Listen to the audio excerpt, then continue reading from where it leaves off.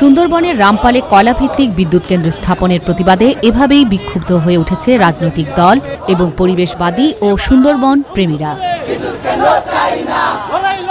তেল, গ্যাস, খনিজ সম্পদ ও বিদ্যুৎ বন্দর রক্ষা জাতীয় কমিটি সকালে ঢাকা থেকে বাগেরহাটের রামপাল অভিমুখে লং মার্চ শুরু হওয়ায় বাগেরহাট ও খুলনা সহ দক্ষিণাঞ্চলের মানুষেরা আরও প্রতিবাদ মুখর হয়ে উঠেছে। রামপাল অভিমুখে লং মার্চে অংশগ্রহণকারীদের পাশে দাঁড়িয়েছে সিপিবি সহ বামজোট, সেভ দ্য সুন্দরবন, জন উদ্যোগ, সুন্দরবন রক্ষা জাতীয় কমিটি, বিভিন্ন পরিবেশবাদী সংগঠন, রামপাল কৃষি জমি রক্ষা কমিটি। কিছু লোকের মুনাফার জন্য দেশি বিদেশি কোম্পানি, তাদের মুনাফার জন্য বাংলাদেশের সবচাইতে শক্তিশালী প্রাকৃতিক রক্ষাবর্ম ধ্বংসের চক্রান্ত চলছে।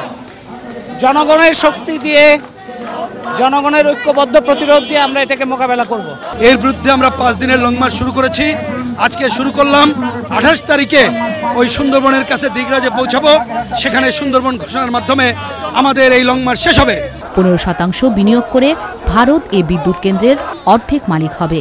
এ অসম চুক্তি জনগণ কোনো অবস্থায় মেনে নেবে না, উল্লেখ করে পরিবেশবিদরা বলেছেন, সরকার এক্ষেত্রে অস্বচ্ছতার পরিচয় দিচ্ছে। কথা ছিল চূড়ান্ত ইআইএ প্রতিবেদন আমাদের সামনে প্রকাশ করা হবে। সেটার উপর জনমত যাচাই করা হবে পরিবেশ সংরক্ষণ আইনের বারোর চার ধারা অনুযায়ী। কোনো জনমত যাচাই করা হয়নি এবং চূড়ান্ত পরিবেশগত প্রতিবেদন যেটা অনুমোদন দেওয়া হয়েছে সেটা জনসমক্ষে প্রকাশ করা হয়নি।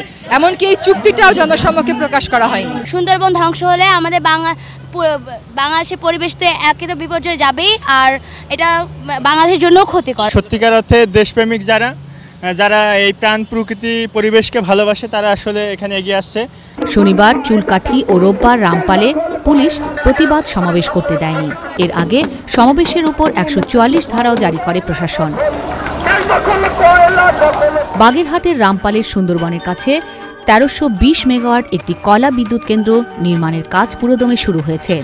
বিশেষজ্ঞদের আশঙ্কা, বনের মাত্র আঠারো কিলোমিটার দূরে এ বিদ্যুৎ কেন্দ্রটি নির্মাণ হলে ঝুঁকিতে পড়বে বিশ্বের সর্ববৃহৎ ম্যানগ্রোভ বন Sundarban. Shahriya Hossain Riya, channel I, Dhaka.